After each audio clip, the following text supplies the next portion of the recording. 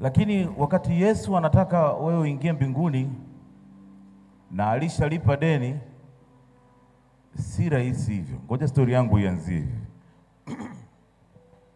Alikuwepo dada mmoja, na huyu dada alikuwa anafanya kazi alikuwa akifanya Mariamu Magdalena siku za nyuma. Nadhani nikisema hivyo tutaelewana. Kwa wale wasioelewa, ngoja niiweke vizuri. Huyu dada alikuwa anajiuza, kwa lugha isiyopendeza sana, alikuwa ni changudoa. Lakini kila siku akirudi kutoka kwenye kazi zake asubuhi, alikuwa anapita kanisani. Ah, Hiyo njia ilikuwa inapita kwenye kanisa, na kwa bahati nzuri au mbaya, wakati anapita kwenye kanisa, kanisani hapo kulikuwa ku, an, anapita muda ambao ni muda wa praise and worship, na kuna nyimbo ilikuwa inamgusa sana. Siku moja wakati anapita akasikia ule wimbo unaimbwa, na ule wimbo ukaingia moyoni mwake sana, akaamua aende pale kanisani angalau asikilize ule wimbo. Lakini kwa bahati nzuri au mbaya, alipofika mlangoni, wa, wa, walikuwa wanampokea wakamwambia mm walikuwa wanapokea wageni, akamwambia hapana, kanisani huwezi kuingia na nguo hizi ulizovaa, kwa sababu kama mnavyojua, kiukweli alikuwa anatoka kazini na unajua wanavyovaa. Kwa hiyo akamwambia, bwana, hustahili kuingia humu kanisani na hizi nguo ulizovaa. Akasema kweli, alivyojiangalia alikuwa hastahili kuingia kanisani na aka, aka, hakuingia kanisani, lakini akatafuta upenyo, akazunguka nyuma ya kanisa. Kwa mfano kama ni hapa, akaenda akasimama kule kwenye dirisha, afu kuna mlango unaingia, akasimama pale. Aliposimama pale, nyimbo ikaimbwa, akamaliza mpaka nyimbo ikaisha. Walivyoanza mambo ya neno na programu zingine, yeye hiyo sio mambo yake, yeye alikuwa anataka nyimbo tu. Akaondoka, kaenda zake nyumbani. Next weekend akiwa anatoka kazini tena akapita kwenye lile kanisa, lakini this time wakati anapita kwenye lile kanisa walikuwa hawaimbi. Akasema mbona leo hawaimbi? Labda ngoja niende, labda wataimba baadaye.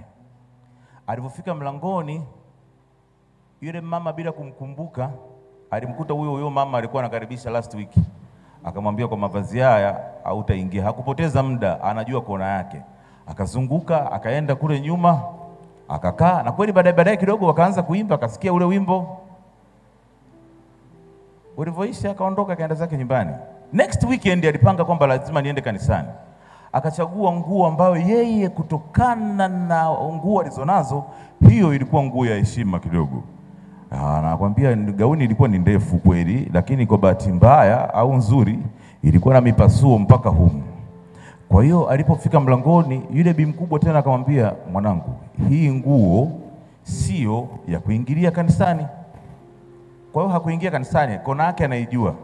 Akazunguka nyuma ya kanisa kwenye ile kona yake akakaa, lakini kwa bahati nzuri leo hakuondoka mpaka ikafika muda mhubiri akapanda mbele akatoa neno. Mtumishi wa Mungu alivyotoa neno akasema, wale wanaotaka kukabidhi maisha yao kwa Yesu, wanaotaka kujitoa kwa Yesu leo waje mbele hakujali nini kitatokea na amevaaje kule nje alikokuwa, akakurupuka mpaka mbele, akaja mbele akatoa maisha yake kwa Yesu. Mnasemaje watu wa Mungu?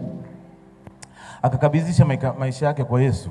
Kwa hiyo from that day next weekend akaanza kuja kanisani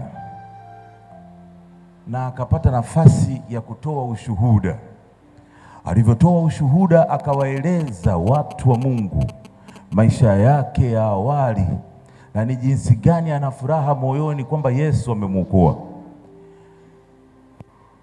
Cha kushangaza, watu walikuwemo kanisani, vijana kadhaa walianza kumuomba namba yake ya simu, wakitaka huduma ya ile kazi aliyokuwa anafanya. Anasema wakati anamhadisia mchungaji hii story, anakwambia mchungaji, nilikuwa nina hasira, nilikuwa nina uchungu sana moyoni. Moyo wangu ulikuwa unavuja machozi na damu, kwa sababu mimi nilikuwa nimeamua kumfata Yesu na niokoe maisha yangu, lakini watu hawakutaka mimi niende kwa Yesu, walikuwa wananirudisha kule kule nilikotoka.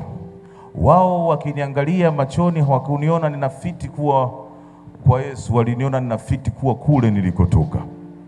Iliniumiza sana.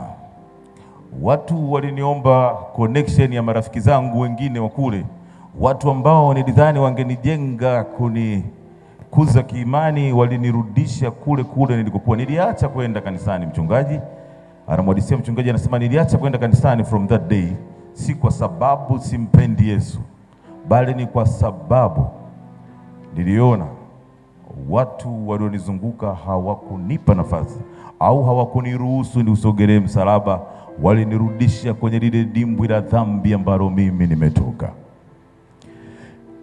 Ni kweli kwamba siwezi kubadilisha kwamba kweli mimi nilikuwa ninajiuza. Sina namna ya kubadilisha kwamba kweli mimi sikuwa msichana ambaye jamii ilikuwa proud, lakini haibadilishi nia yangu ya kumfata Yesu. Mambo niliyoyafanya zamani, zamani hayabadilishi, siwezi kuyafuta. Ndugu yangu, inawezekana ikawa ndio stori yako hata wewe. Ulevi uliofanya zamani huwezi kuubadilisha. Wizi, ushirikina, uchawi na vyovyote, dhambi zote ulizozifanya zamani huwezi kuzibadilisha, lakini uzipeleke msalabani, kwa sababu Yesu alikufa kwa ajili ya hizo dhambi.